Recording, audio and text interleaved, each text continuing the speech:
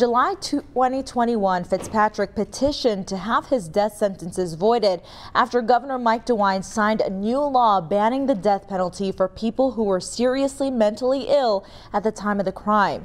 The law gave prisoners on death row one year to petition the court to overturn their death sentences.